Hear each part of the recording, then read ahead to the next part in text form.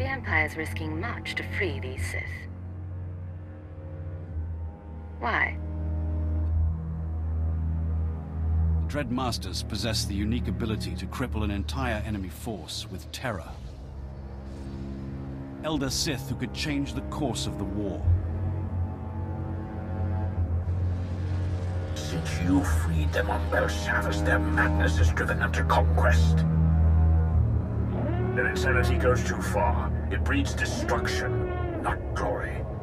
They're rogue Sith who've betrayed the Empire. They were the Emperor's favored servants, yet idolized fear above the Empire. You dare seek control over the Dread Masters? From our wound bleeds our memories, our names, our ambitions. We tasted oblivion and it drowns us. Like you, we are changing. That is the great feeling of both our peoples. We do not change. Populations will be infected, and planets overgrown. Mothers will kill daughters as soldiers weep in terror.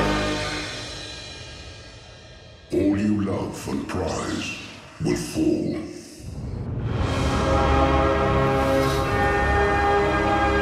Birth. Pain.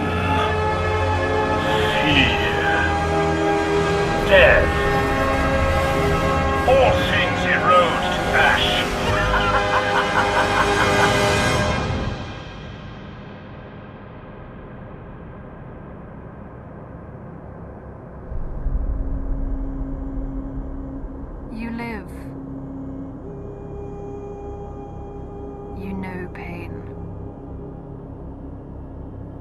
you have learned